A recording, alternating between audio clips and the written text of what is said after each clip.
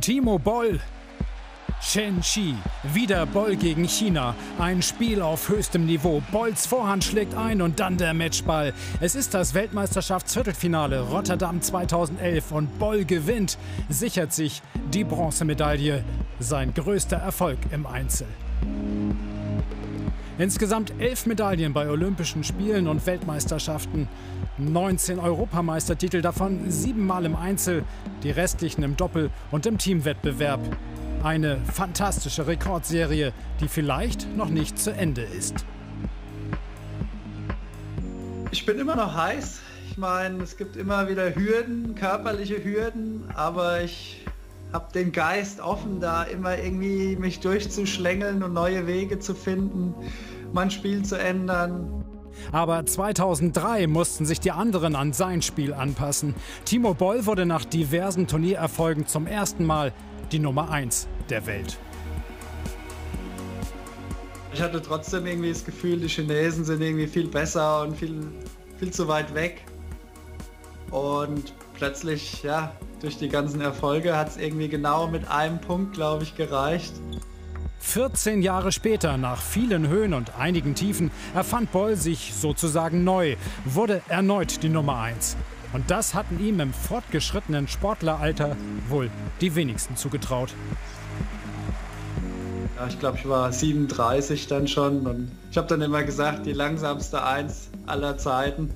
Äh, das war, glaube ich, auch wirklich so.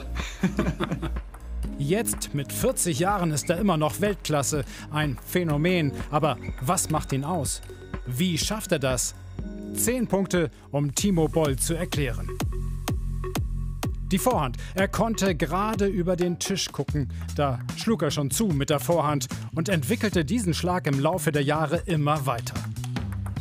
Den Vorhand-Topspin spielt er jetzt nah am Tisch, bedingt durch die neuen, die größeren Bälle. Vor dieser Reform konnte er noch mit mehr Rotation agieren. Ein Schlag auf allerhöchstem Niveau. Ich war früher der Meister des Spins, also ich habe extrem viel Rotation in die Bälle reingebracht und das war sozusagen meine absolute Waffe, die sehr gefürchtet war im, im Welttischtennis. Nicht ganz so gefürchtet seine Rückhand. Aber auch die hat er im Laufe der Zeit immer weiterentwickelt, hat sie perfektioniert, schlägt sie hart und präzise. Ein kompletter Spieler ist natürlich beidhändig. Naja, in der Realität ist das kein Thema. Dort ist in der Not der Wechsel des Schlägers von der einen in die andere Hand gemeint. Auch den beherrscht Boll. Ja, das ist ja so ein bisschen mein Markenzeichen, dieser berühmte Hand-Switch. Außergewöhnlich auch seine Sehfähigkeit. Der Ball rotiert bis zu 150 Mal pro Sekunde. Trotzdem kann Boll sogar den Stempelaufdruck erkennen.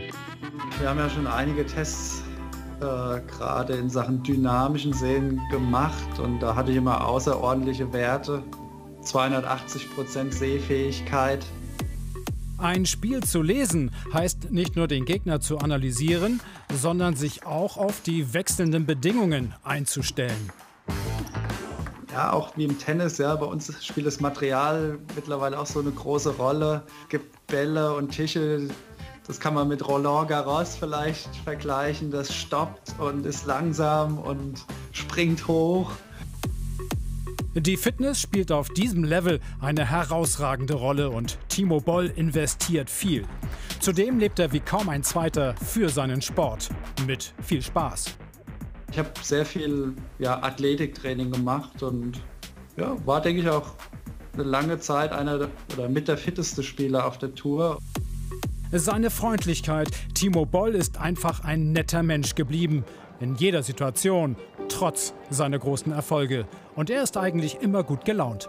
Irgendwie ist bei mir immer heile Welt und ich fühle mich gut damit. Zudem ist das solide Familienleben abseits der Öffentlichkeit mit seiner Frau Rodelia und Tochter Zoe die Basis der sportlichen Karriere für den heimatverbundenen Hessen. Hab früh geheiratet, bin froh, ja, dass, dass ich da auch nie irgendwie ja, wild geworden bin. Das hätte ja durchaus anders laufen können. Boll wurde in China vor David Beckham zum Sportler mit dem größten Sexappeal gewählt. Da hatte ich auch noch mehr Haare auf dem Kopf. War mir schon irgendwie auch ein bisschen peinlich. Apropos China, dort ist er noch sehr viel populärer als in Europa. Das liegt natürlich an den sportlichen Erfolgen. Er war eine Zeit lang fast der einzige Spieler, der den chinesischen Superstars Paroli bieten konnte. Zum Beispiel beim Weltcup 2005. Da schlug er die Top 3 Chinas nacheinander innerhalb von 24 Stunden. Das ist nicht allzu häufig passiert und da bin ich auch immer noch stolz drauf. Er interessiert sich aber auch für Land und Leute, kann sich in China durchaus verständigen. Äh, Wasche Boa. Also ich heiße Boa, so nennen die mich dort. Hier ist fast seine zweite Heimat. Jeder Auftritt begleitet von vielen Fans und die halten ihm seit Jahren die Treue. Eine gewachsene Beziehung. Also Fans, wie man sie sich eigentlich wünscht, auch nicht aufdringlich, sondern einfach nett und zuvorkommend und feuern mich immer an, reisen um die Welt, um mich, um mich zu sehen und und dass er die Stäbchen fast genauso beherrscht wie den Tischtennisball, ist dabei nur eine Randnotiz. Es ist entscheidend, dass du den Ball sauber triffst und so ist es mit dem Stäbchen. Ja? Wenn, ich, wenn ich die Nuss sauber vorne eingeklammert habe, dann ist egal, wie ich, wie ich das Ding halte.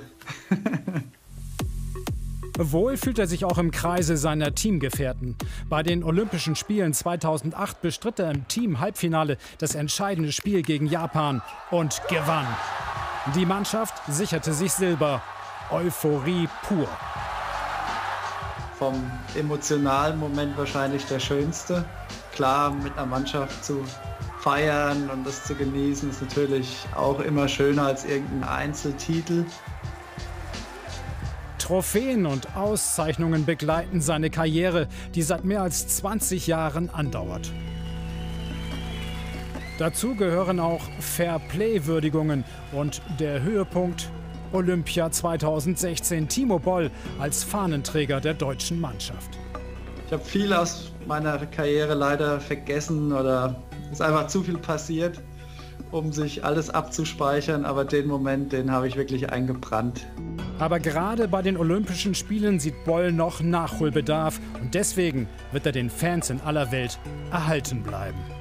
Da fehlt mir ja auch noch eine Einzelmedaille und ähm, ja, ich bin immer noch gierig, ja, die zu gewinnen.